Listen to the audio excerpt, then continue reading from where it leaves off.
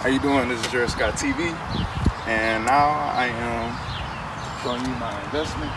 It's a Honda Accord, 1997, 120,000 miles on it, and this is a little investment, little job, little play job that I want to invest in. See what I can come up with it. See what I can do with it. Let me take. Let me give you a little peek of this car. This car is a. This car is a beauty.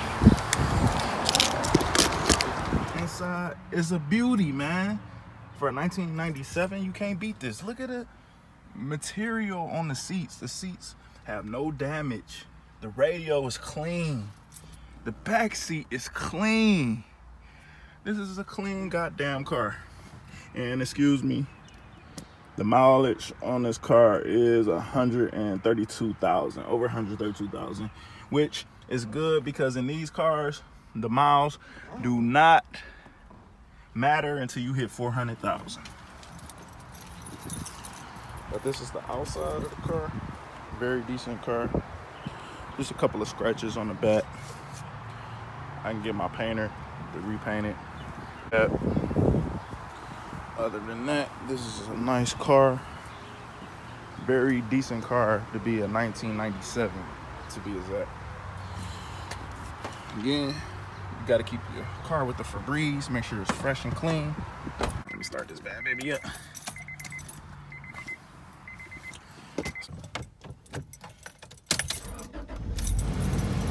Woo! Alright, it's hot as hell, so I definitely turn the AC on. AC still work on this car. Once again, it's a 1997 park, reverse, neutral, drive,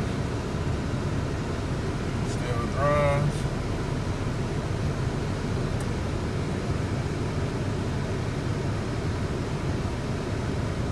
Still good. But like I said, this is an investment car. I put um, my money towards um, selling shoes online on the Goat app and StockX towards this car and I just want to see if I can get a good flip out of this car.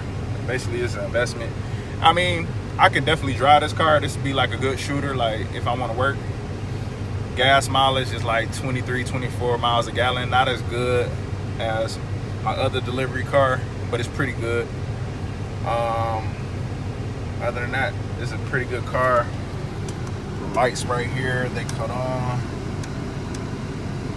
cut off I will turn on the windshield wipers, but on my next video, I'll be showing you how to um, install the windshield wipers on this car. It's a pretty old car, so it's kind of different. One thing about this car, they don't have electric um, window roll up and roll down connection on them. You got to do it all manually, which is no problem because this is a shooter. But once again, this AC, you let it run a little bit and this AC started blasting. This is a 1997, the AC is blasting. It feels good, horn work. I don't want to press it right now, but the horn work. Everything works on this car. I mean, it's a good car, it's a great car. Put your drugs in there. Say no. Kids say no to drugs.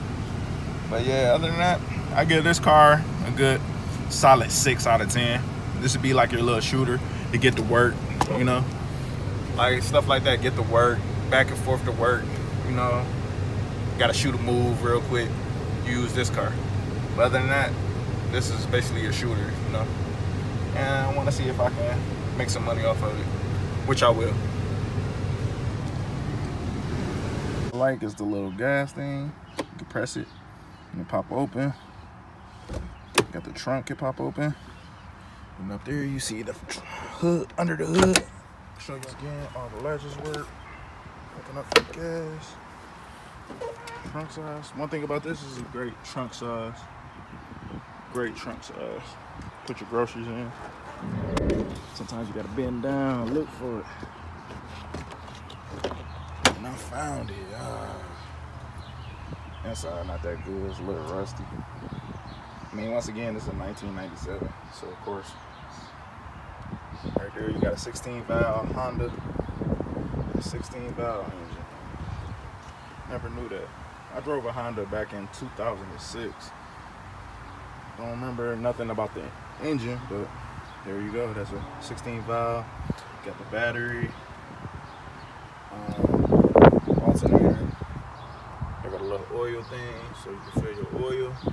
Oil will take SAE 5W30, which most are, I think this is V6 is, is 16 valve. This is one, two, three. No, it's V4. My bad. Duh. That's why it's a gas saver. Once again, this is a gas saver too. But that's under the hood right there.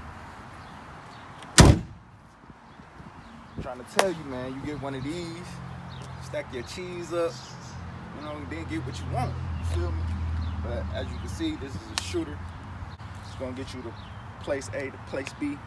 You know, it's gonna get you a fashionably good um, gas mileage, 24 miles a gallon. Once again, you know, you invest in yourself, bless yourself.